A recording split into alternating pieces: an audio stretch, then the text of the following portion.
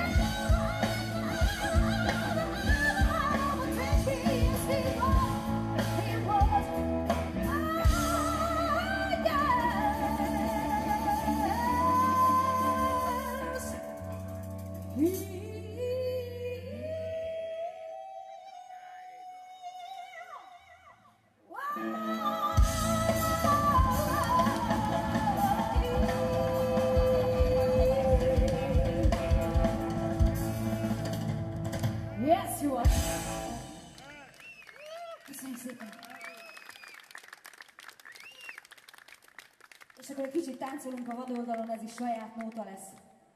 Szövegírónk Rettesi Péter már oda föntről figyel minket aktívan, vettük észre, és ő írt ezt a dalt, mivel barátok voltunk, ezért a saját életünkből, tehát ez nem egy olyan szöveg, amit kiszedett a, leszedett a polcról, hanem tényleg rólunk szól. Szó, szóljatok, ha a tempó miatt el kell énekelni a himnuszt, akkor, akkor megállunk majd, de addig nyomjuk. Thank you.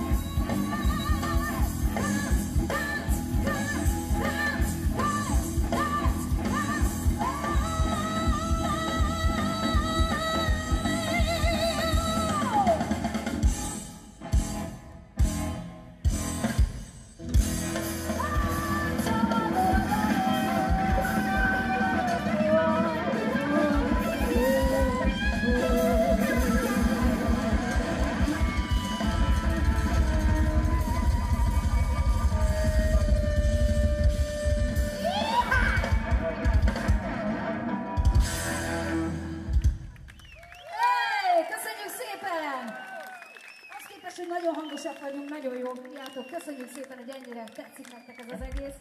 Igazi vagány közönség, nagyon-nagyon ritka az ilyen komolyan. Iszik a zenekar? Nem. Következő dal Paul Rogers szerzeménye, amiben tiszteletét teszi Muddy Watersnek, a blues egyik nagy atyának, és ez a gondolat tőlünk sem áll nagyon távol, hogy mi meg tiszteletünket tesszük Paul Rogers előtt, valamint a kürtös kalácsos előtt, tehát nagyon sok tisztelet fajta létezik. Nos, egy kis blues.